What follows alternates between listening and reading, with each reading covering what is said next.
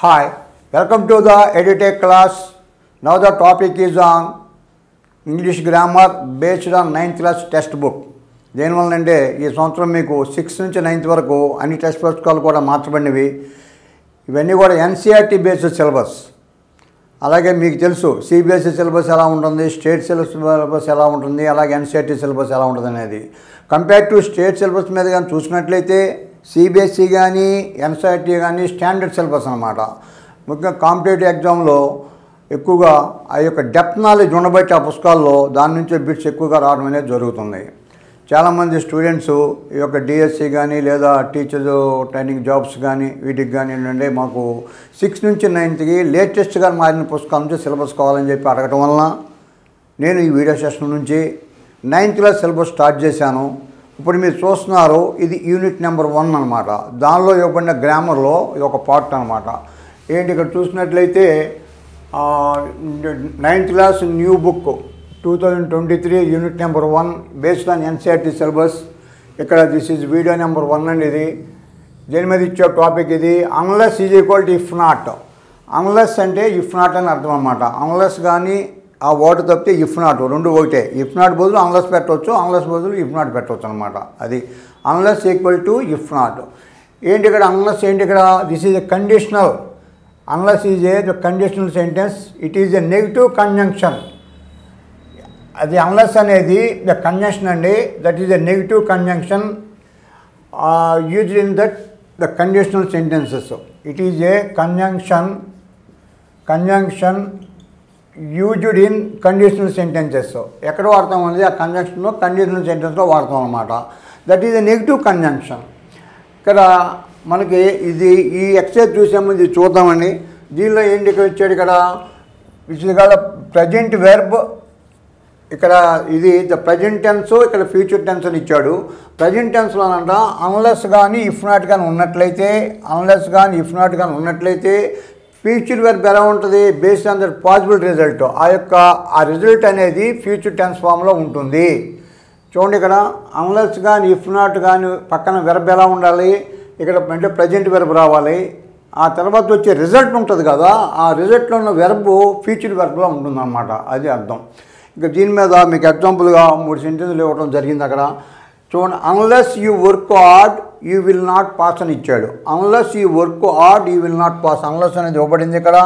మనకేం అడిగాడు అన్లెస్ ఇది గోల్డ్ ఇఫ్ నాట్ మనకి అన్లెస్ అంటే ఇఫ్ నాట్ పెట్టి రాయమంటాం అనమాట unless is gold if not తర్వాత ఆ రిజల్ట్ అనేది వెర్బ్ ఫ్యూచర్లో ఉండాలి. అది మనకు రూల్ అనమాట ఇక్కడ విధంగా రాస్తామంటే మనం ఇక్కడ?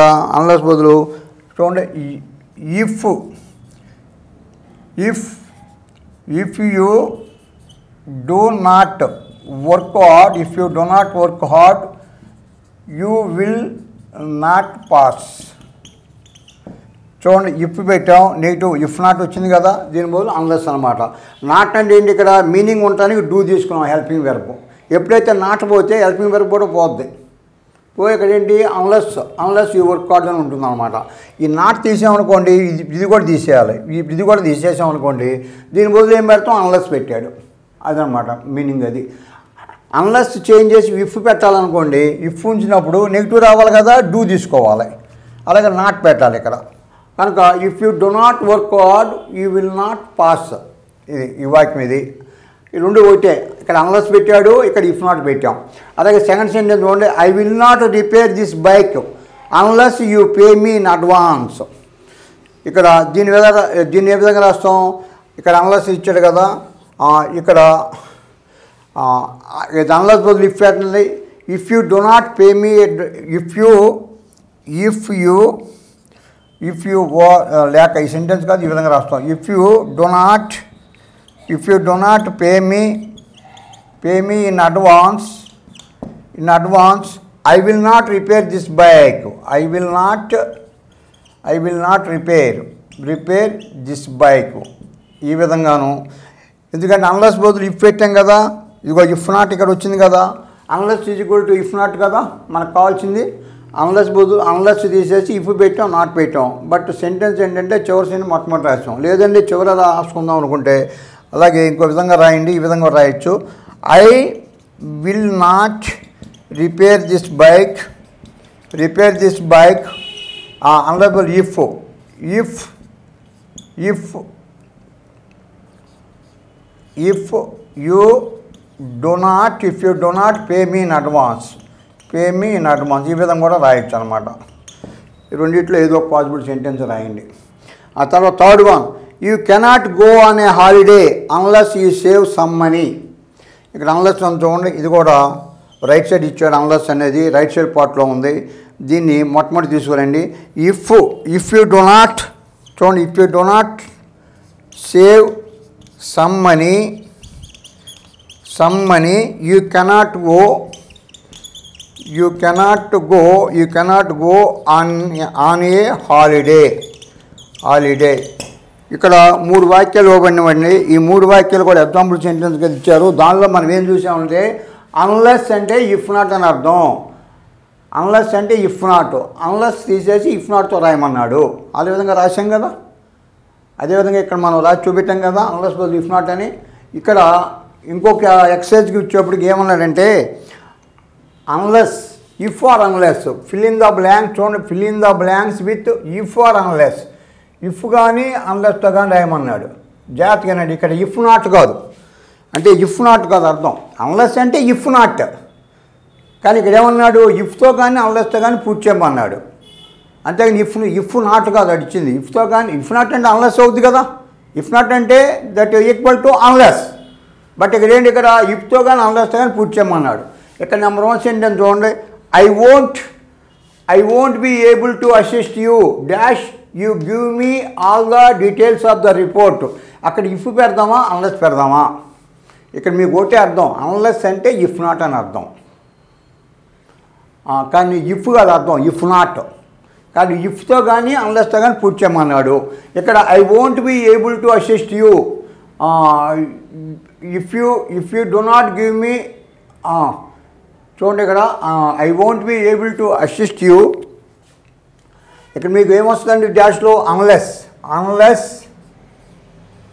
unless you do not అంటే unless you give me sorry unless you give me unless you give me all the details if ఎందుకు రాదండి?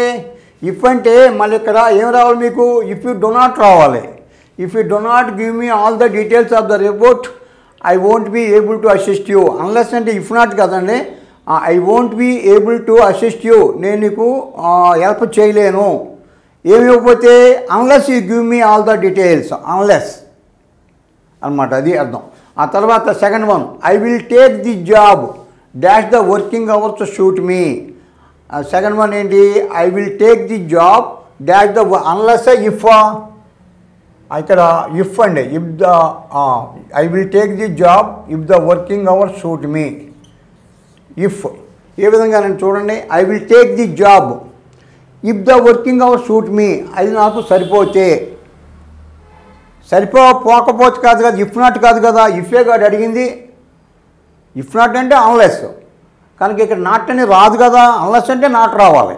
నాట్ అనే మీనింగ్ పెట్టకూడదు కదా అందువల్ల ఇఫ్ అనమాట అంటే నాట్ ఎందుకు పెట్టకూడదు? అన్లెస్ అంటే నాట్ వస్తుంది. అన్లెస్ ఈజ్ కూడా ఇఫ్ నాట్ కానీ మన ఇఫ్తోనే రాయమంది. ఇఫ్ కానీ లేకపోతే అన్లెస్ కానీ చెప్పి అడిగాడు కనుక if the working hours suit me. అలాగే third one dash he advertises on TV he will get a lot of publicity ఇక్కడ అన్లెస్ రావాలా? ఇఫ్ రావాలా? చూడండి జాగ్రత్తగా. అన్లెస్ అంటే ఇఫ్ నాట్ అని అర్థం. కాకపోతే అని అర్థం. ఇక్కడ కాకపోతే అనే మీనింగ్ రాదు. If if he advertises on TV if if he advertises on TV he will get a lot of publicity అది అప్రోప్రియేట్ మీనింగ్ అనమాట ఎందుకు రాదు? అన్లెస్ అంటే నాట్ అని అర్థం మళ్ళా అన్లెస్ అంటే ఇఫ్ నాట్ అంటే ఇఫ్ ఈ చూడండి if he does not advertise on TV ఎప్పుడైతే మీరు అన్లెస్ పెట్టారో దాని యొక్క మీనింగ్ ఏంటంటే is equal to if not కాదు ఇఫ్ హీ డస్ నాట్ అని అర్థం. ఇఫ్ ఈ డజ్ నాట్ రాదు కదా ఈ విధంగా రాయకూడదు కదా. If he does not if he does not advertise on TV he will get a lot of publicity దానిలో మీనింగ్ లేదు కదా. ఇఫ్ ఈ డజ్ నాట్ అడ్వర్టైజ్లో ఇవ్వకపోతేనంట లాట్ ఆఫ్ పబ్లిసిటీ వద్దంట. రాంగ్ కదా మీనింగ్ అది. అందువలన మనం ఇక్కడ అన్లెస్ తీసేసి ఇఫ్ పెట్టాలి. అన్లెస్ అండ్ ఇఫ్ నాట్ అని మైండ్లో ఉంచుకోండి. అన్లెస్ అండ్ ఇఫ్ నాట్ అది అర్థం. తర్వాత fourth one dash it is very cold he will not we will not have any snow అలాగే సేమ్ మీనింగ్లో చూడండి ఇక్కడ ఏమిచ్చాడు dash it is very cold we will not have any snow if unless అక్కడ unless unless it is very cold అది కోల్డ్గా లేకపోతే we will not have any snow ఏమి snow ఉండదు. కోల్డ్గా ఉన్నప్పుడు స్నో ఉంటుంది. అది అర్థం అనమాట అలాగే పిత్వం the thief three ten to kill us. The thief threatened to kill us we did not give him the money. ఇక్కడేంటి మనకు చూడండి ఇక్కడ. The thief threatened to kill us dash we did not. Already ఇక్కడ మీకు did not ఇచ్చాడు. If పెట్టండి. So if we if we did not give him the money. అంటే unless we did not రాదు కదా ఇఫ్ వచ్చినప్పుడే నాట్ అది అర్థం అనమాట అదేంటి అదే మీనింగ్ చూసినట్లయితే ఇఫ్ వస్తుంది. అది. ఇఫ్ ఈ we did not give him the money అలాగే ద అలాగే the sixth one dash you use high quality material you cannot build a strong house if if unless అంటే ఇక్కడ ఇఫ్ రాయాలా అన్లెస్ రాయాలా? ఇఫ్ అంటే నాట్ అని అర్థం. అక్కడ ఏంటి? If not you use high quality material అంటే క్వాలిటీ మెటీరియల్ యూజ్ చేయకున్నట్లయితే వీ కెనాట్ అంటే we cannot build a strong house అని ఇచ్చాడు. ఇక్కడ మనకి అప్రాప్రియేట్ వర్డ్ అన్లెస్ అండి. అన్లెస్ ఇఫ్ నాట్ రాదండి unless unless you use high quality material high quality material use చేయబడినట్టయితే you can't build a strong house ఇక్కడ మనం అర్థం చేసుకోవాల్సింది ఏంటంటే ఇక్కడ ఇఫ్ ఆర్ అన్లెస్తో రాయమన్నాడు. అంతేగాని ఇఫ్ నాట్ కదా అది అడిగింది. ఇఫ్ కానీ అన్లెస్ కానీ అన్లెస్ అంటేనే ఇఫ్ నాట్ అంటే మనకి అన్లెస్ అన్లెస్ అనే వర్డ్ యూజ్ చేసామనుకో దాని మీనింగ్ ఇఫ్ నాట్ కింద చూడండి. దాని మీనింగ్ ఇఫ్ నాట్ కింద ఆలోచించండి. అప్పుడు మీ ఎక్సెల్ చేయగలరు అనమాట ఈజీగా ఇది ఆ టెక్స్ట్ బుక్లో ఇచ్చినవి. ఈ ఎక్సర్సైజ్ అనమాట okay? Thank you to all for watching my videos on YouTube if are interest in my videos no please do me favour like share and subscribe I meet you in my next video. Okay, once again, bye.